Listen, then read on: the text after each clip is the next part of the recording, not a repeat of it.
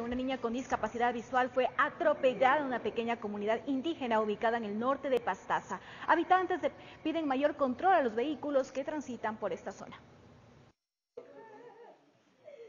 Los familiares de Caterine Andy lloran desconsoladamente su muerte.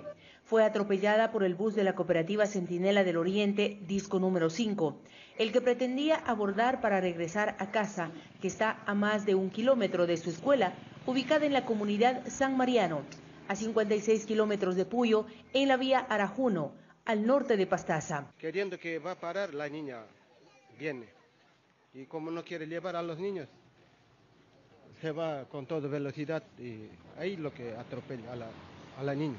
Un padre de familia de la pequeña escuela comunitaria de San Mariano dice que hay muchos choferes que ignoran a los niños que esperan ser transportados de sus hogares. Lo que viene en bus de las 12 no llevan a los hombres y dejan botando ahí. La familia pide ayuda para cubrir los costos mortuorios de la menor que por ahora corren a cargo de su precaria economía. No me están ayudando, yo solito con mi familia estoy aquí haciendo esas cosas. En la sede de la cooperativa en Puyo, su gerente Carlos Chávez dice que esta empresa tiene un seguro particular que ayuda a terceros por accidentes. Eh, daños para terceros con fallecimiento es eh, de 4 mil dólares, que serían adicional al SOA. Para muchos moradores de la zona, este era un caso que se temía sucedería en cualquier momento, dado que decenas de niños caminan al filo de la carretera desde o hacia sus centros educativos. Desde la provincia de Pastaza informó Carmita Argoti.